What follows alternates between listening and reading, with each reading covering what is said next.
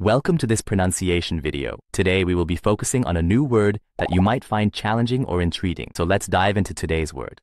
Regisseur, which means, A director or manager of a play, opera, or film. let's say it all together.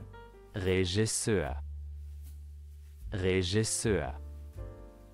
Regisseur. One more time. Regisseur. Regisseur. Regisseur. Thank you for joining us on this adventure in pronunciation. Remember, language is a journey, not a destination. Keep exploring, experimenting, and expanding your linguistic horizons. We'll see you next time.